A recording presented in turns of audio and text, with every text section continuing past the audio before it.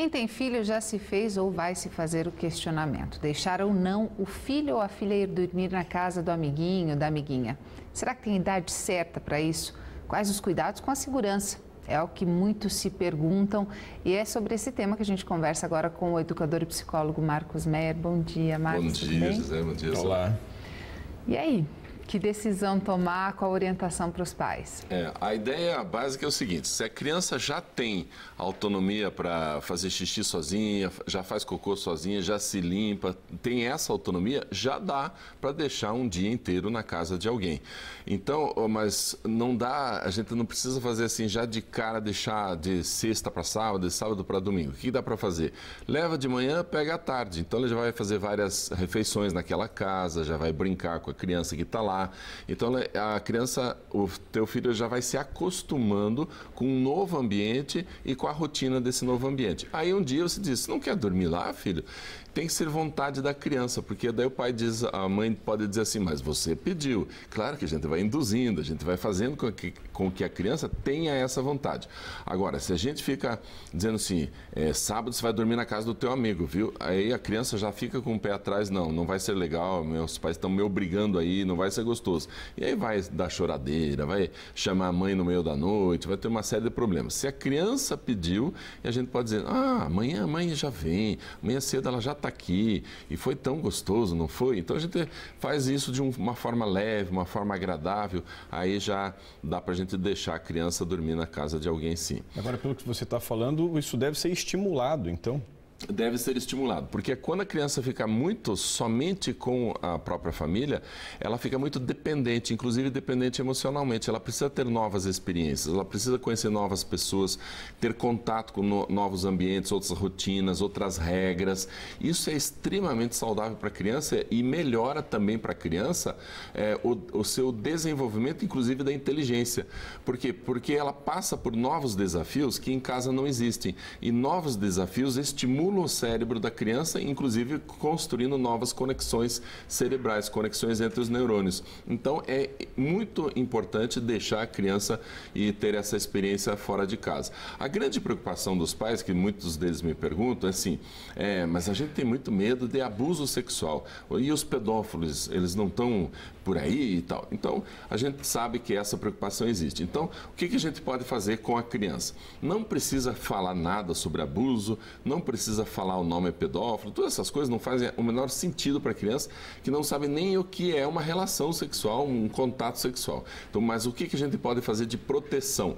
Criar um mecanismo de proteção na criança para que ela própria, por exemplo, se alguém tocar nos seus órgãos genitais, ela diz, ela tem que reagir de imediato. Não pode, viu?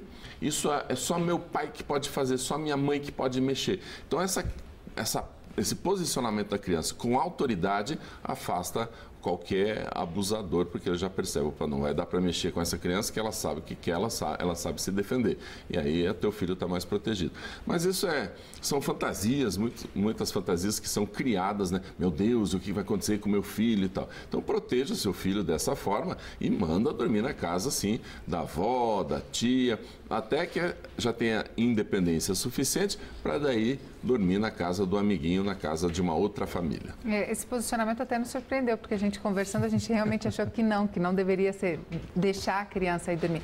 Então, o ideal é iniciar justamente com os parentes mais próximos, é. avós, tios, antes de ir para casa de um amiguinho. E é sempre bom também os pais conhecerem a família desse amiguinho, né? Exatamente, é claro. É, você, a gente precisa conhecer e precisa já ter feito essa experiência. Passou um dia inteiro lá, depois vai dormir na casa. Então, é importante que faça isso, porque tem aquele momento da criança, é, quando está com sono, está cansada, ela fica enjoada, chata, sensível, irritada, e daí ela não quer saber de ninguém a não ser a mãe. Então ela começa, eu quero minha mãe, eu quero minha mãe. Se a família lá não está preparada para isso, telefona para a mãe.